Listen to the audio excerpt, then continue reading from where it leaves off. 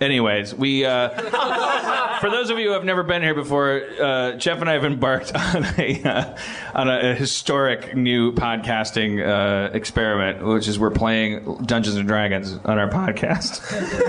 it's probably it's probably someone else is doing it, but fuck them. It's podcast dynamite. This guy's nodding in the front row. Are you doing it on your podcast? Is that why you're here? No, but there's a lot of podcasts. All right. Well, all right. Fine.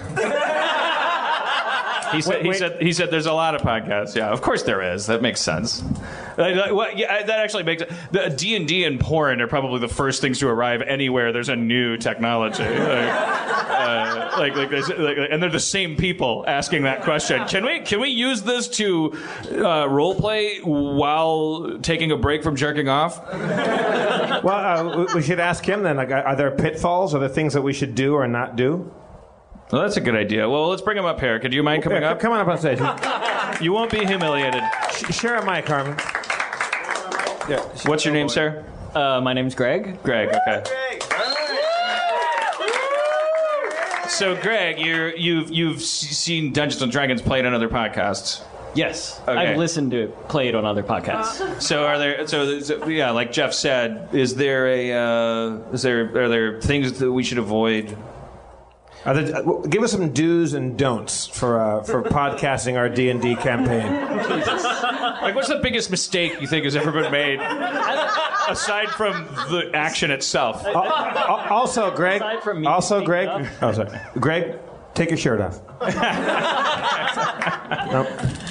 Oh, jeez. Um, uh, okay, I've listened to a lot of role-playing game podcasts. They do uh, live D&D games and other stuff. Uh, generally, I stop listening to them because the people are sort of intolerable. So, Oh, interesting. well, if that was going to stop anybody, I'd be dead by now. yeah. How, how do we stay tolerable? Yeah, expound on that, can you? Without making too many enemies? Oh, oh, yeah. What? What? uh, How about this? Uh, I'm gonna lower your mic. Oh, that'll help. What, what, what makes what makes them intolerable? Generally, it's uh, uh, people laughing too much at their own when they quote Monty Python. Nice. All right. No, that- no that's- Monty Python quote. Yeah, that sort of thing. You, you guys are new enough that you probably don't have any in jokes from about Right. four campaigns ago. so- But that's a, but that's an easy thing to fall into. Yeah. is in jokes. yeah, uh, in jokes are hard. Um, I would suggest maybe keeping it short. Yeah, Yeah, that's like a good I, rule with I, I actually I missed the last one, so I don't know how this went last time. But we my- didn't keep it short. Yeah,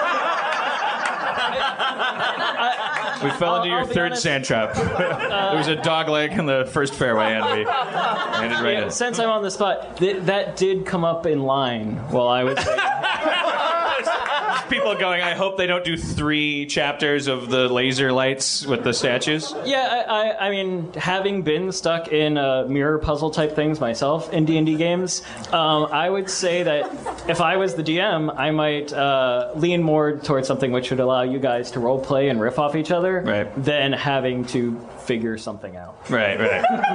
All right, Greg. Greg, everybody. Greg.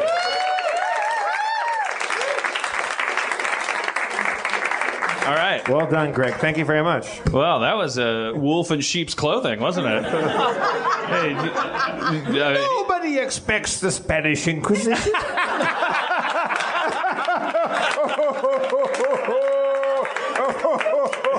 I'm sorry. I'm sorry. I couldn't help myself.